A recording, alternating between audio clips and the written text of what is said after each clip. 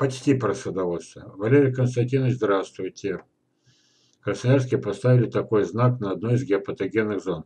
Вот, Алиса, откуда вы решили, что на одной из геопатогенных зон? Это вы мной испорчены, да? Вот.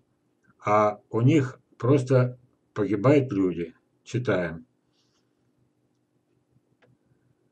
Ну и вот 8 человек пострадало.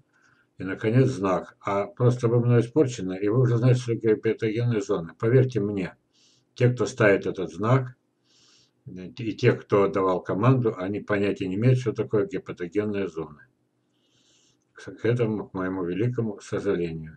Три составляющие гепатогенной зоны – смерть на дорогах. Вот. Вспомните, что нас обошли. Ну, раз уж эту тему, это, извините, э, это самое, уважаемая Алиса, это вы тему подняли, не я. Вот так. То поэтому, значит, гибель а, миллионов людей по всей планете на дорогах. Еще больше гибель болезней и большинство раковых болезней, когда кровать попадает в гепатогенную зону, а их много. И третье, это страдают наши любимые деревья. Третье, это, это вот три составляющих. Значит, наука спит и просыпаться не собирается. Я отдаю себе отчет, что невозможно на данном этапе пробить эту стену. Немножко пробили Белоруссии.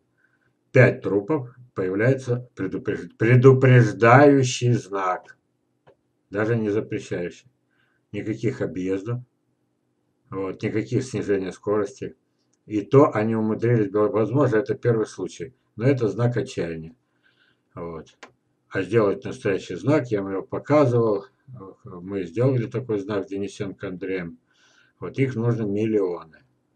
Что их удерживает? Человеческие жизни, а, это, кровь людская не водится. Ладно, идем дальше. Почему питомники деградировали, стали предателями, перешли на обреченные на смерть саженцы? Почему я это записал? Еще раз, деградировали, стали предателями.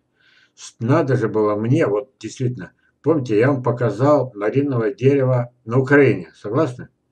Но украинцы, они врать не стали. Они полусоврали. Они написали на своем сайте, что э, малиновое дерево сорта из Германии. Это знаменитая фирма. Но они забыли одно слово написать. Не сорта, сорта само собой. Саженцы из Германии. Вот. Стоило мне сказать, тут же, тут же мне в экран по этот, там же, ну, сами знаете, что такое Яндекс, Рамблер, везде новости. И тут же бах, вот эта реклама. Но это-то, извините, агромаркет, это уже Россия. И что они пишут? Деревья из нашего питомника. Ну, что врать-то? Дальше. Полностью адаптированы под суровый российский зиму. Вы что, не понимаете э, э, эти самые, кто э, это, мошенники? у него и вашего малинового дерева должен быть штамп, иначе это не малина. Это половина отрезается веток или листьев нижней части. И получается якобы малиновое дерево. Малина – двухлетнее дерево. Дерево двухлетнее. Еще бывает ремонтантная малина. Это учеба, поэтому я таким тоном говорю, потому что они-то как? Они написали малиновое дерево, но дерево подразумевается 5, 10, 20 лет. Вот, кстати, вот на, на свете нет ни одного. А, да, пример, тут же рядом. Да, и у них то же самое. Значит, колонны сливы, колонны груши, колонны персики, колонны э, абрикосы, колонны и прочее, прочее. На свете нет ни одного. А им продать надо. Вот они и придумали. Помните, моя фотография обошла десятки сайтов. Ну, вот это вот свешивается, уже неудобно показывать, столько раз показал. Груша свешивается, вот такая ветка, они вот тут вот на фотографии отрезали, и получилось она якобы снизу вверх растет, а не сверху вниз. И назвали колонной. Вспоминайте.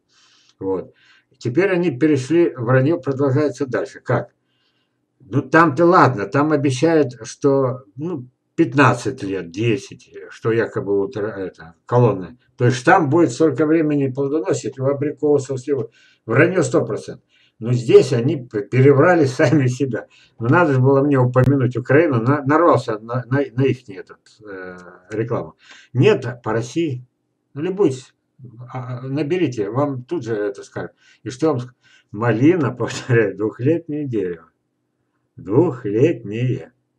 Если они вырастили пяти- или десятилетнее дерево, им надо дать этим ребушкам государственную точно. Вы понимаете, что обидно малине? Ну, вы-то знаете, и мы знаем, и все знают, один год она растет. Ремонтанты не будем брать пока. Отдельный разговор, когда поговорим. Ремонтанты, она чем отличается? За год должна успеть и вырасти, и зацвести, и заплодоносить. А, о, большая часть России она не успевает. Так? Да и мерзнет к тому же. Укрывать каждый год надо. А это обычно, вот как э, нарисовано, э, подразумевается двухлетний дерево. Год цветет, то есть растет, на второй год зацветает, заплодоносит. Все. Тут уже подрастает следующий росток, следующий росток. Где он тут, следующий росток? А это умирает.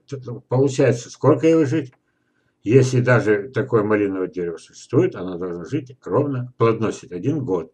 А какой хрен это дерево? Вот это, кто-то скажет, вы не правы, наука двинула вперед, генно-модифицированные эти, там уже давно где-то с Африки, в тайге или где-то там нашли, все-таки скрестили, получили многолетнюю малину. Покажете, покаюсь, э, это самое, скажу, вы молодцы, у, какие вы молодцы. А на данный момент я говорю, вы мошенники. Идем дальше. Ну, ну так получилось, ребята, ну сорвалось. Только стоило было на том рассказать про малину э, на Украине и прогноз, что прет в Россию. Вот она. А у нас же как? В школе же это не проходит. Я, моя любимая тема – дебильная школьная программа. Лучше бы это проходили. А то еще команду дали это самое, генетикой заняться. Тут без генетики разгрести бы всю эту грязь. Вот.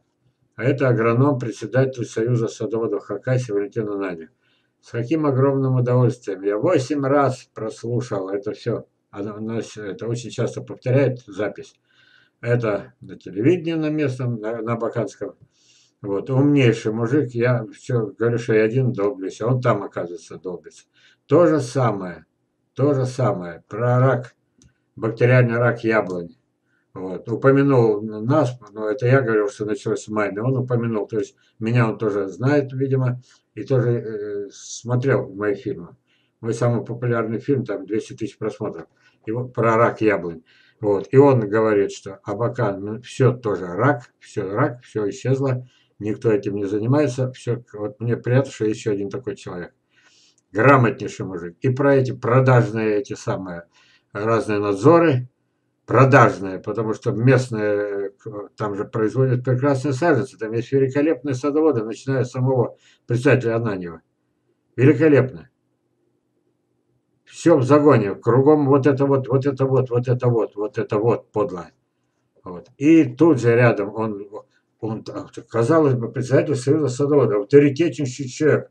Это не мужик, это глыба, это, знаете как, и когда я слушаю его грамотные речи, меня сразу, я начинаю грустить, а я уже до его уровня не до, не до это, не дорасту. Вот, вот эта грамотность невероятная. И, вот, и все равно, это если я, помните, я говорю, у нас через э, неделю, вот сейчас, через месяц будет 500 просмотров, да, а у них 500 тысяч просмотров, то гробит. Вот. А вот эти самые подлые, вот эти, знаете, сколько они с деньги выкачивают? Миллиарды. Вот. И он, это горько было слышать про все, про, про уничтоженные яблоневые сады, про миллионы деревьев. Но получается то, как мы с ним, как два сапога. Вот это я просто, ну, ну уже не выдержал, говорю. Ну, толку, что председатель, толку, что грамотнейший мужик. Вот. Чиновничья рать – это непробиваемо. Ой. Это еще одна тема.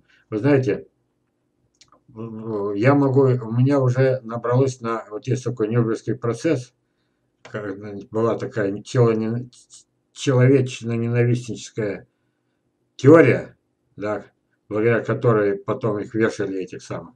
Но таких вот вешать, конечно, нельзя очаровательных. Но кто бы их убрал с экрана? Кто бы убрал, чтобы вот это вот на всю страну? Вот это вспоминаем, друзья. Мы с вами 150 грамм, да? Я не ошибся, когда это. Купил батарейки, вот, э, сфотографировал. А вы правы. Тот, тот там мне это в комментариях сказал, а не персик ли это? Проверьте косточки. Я проверил персик. Где знаете, что интересно? А продавали абрикос крупноплодный. Вот. Там были нектарины, абрикос крупноплодный, и были вот такие абрикосы. я теперь убедился лишний раз, что все-таки, ребята, персик тут уступает пальму перца. Ну, по абрикосам, Средняя Азия, у вас, видимо, там с привитыми не очень. А не привитые, они дают бобильный урожай, но не крупных. Вот то, что я видел, да, ну, лоток, не было фотоаппарата. Лоток, опять абрикосы есть, вот такие вот, вот все такие. Это то, которое мы называем жердели, они невкусные абсолютно.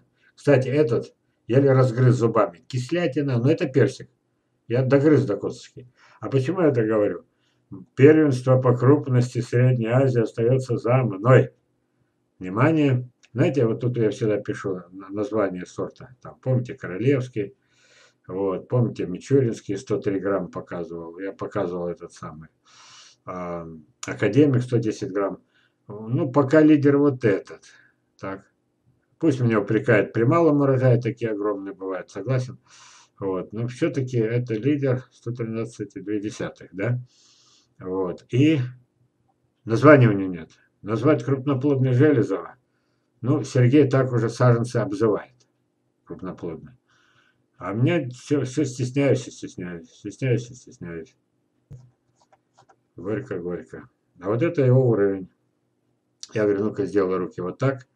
Это уже очередной саженец погиб. Елена Александровна Савинич. Я на этом, вот здесь, где патогенная зона, страшная. Я ее учил именно здесь владеть рамками. Вот. Это мы должны знать. Вот не дай бог, вот здесь бы стояла бы кровать, то почему нет? Мы запросто могло быть. То, что здесь бугор, это десятки лет трактор, когда проходит этим плугом, или лемехом, лемех, проходит, и она все время под эту сторону подгребается земля, и получается бугор. Вот такой бугор. Вот, но это не из-за бугра. Это из километра 2, 10, 20, 50 километров снизу идет смертельное излучение. Вот. Лишний раз напоминаю. Вот. Когда проснется, ой, я не знаю, ну, это я тут же попросил его попозировать. Мягкий переход плодопитомника, это будет продано, а это уже не продано никогда. То есть, вот, я говорю, э, это самое, он вот эти деревья еще несколько срубит. Вы представляете, нет? Трех-пятилетние абрикосы, роскошнейших сортов, он срубит. Он уже с таких срубил. Я, у меня еще есть фотографии, одни пенечки. А это, говорит, нет, оставлю. Это память о Федоренко, один из лучших садоводов можно смело говорить, Сибири, не только Саяногорск. У нас таких уникумов было десятки. А он, э, у него то ли выменял, то ли купил у Федоренко. Ой, Чернослив, Чижик, ой, Чижевского и Чижовского. Я даже до сих пор Чижевский, Чижовский. Вот, хотя у меня свой есть чернослив. Я его раздобыл у Боднера. А это его теперь чернослив. Он говорит, нет, это дерево я пересаживать буду. Вы представляете, когда он выкопает, он же наполовину угробит. Вот, а все, а, а, а скажете, а где земля? А вот за забором сейчас покажу. Это прошлогоднее. В прошлом году он выкопал, за ними не приехали, не купили. И они все оказались в костре. По дешевке что-нибудь продал, рублей по 200 что ли. Супер сорта абрикосов. Переросли, надо было место освобождать. Вот. А вот сейчас еще покажу. Это этой весной он выкопал. Я думал, сдохну. А у нас дожди идут. И вот э, а руки не доходят, их бы можно было и не прикапывать, а сразу костер. Вот. А он еще до последнего надеялся, что или кто-то купит, или привьет, или он сам привьет. Привить здоровья нет, посаживаться никто не покупает, рассаживать некуда, никто не приехал. Я ему еще вчера говорю, ой, сегодня, нет, вчера. Я говорю, Сережа, может, еще это, спасем. Ну, ну, сердце крови обливается. Это же уссурийская груша. Это те груши, которых Нет, в этих, ну, этих самых. Ведь я спрашивал, я спрашивал у Дускобила, я спрашивал еще, не буду фамилии называть, Дускобила вдруг еще у двоих. Да, есть у них груши по двое, но это не чистая груша. А у меня чистая, а у Сережи чистая. Посмотрите на эти колючки. Вот это такое взять, отрезать и выпороть кого-то. Это вот раны будут, да, это доставать. Ой, ужас. Дикарь из дикарей. Но как они приживаются к этим, к ним приживаются культурно, я до сих пор в шоке. За столом прививал, без, ну, это, сказать, с голыми корнями. Высаживали 99 и 100, 100 и 100. Ну не может такого быть, ну вот, пожалуйста. У этих, у абрикосов, у яблонь чуть-чуть похуже, но это-то. И никому не надо.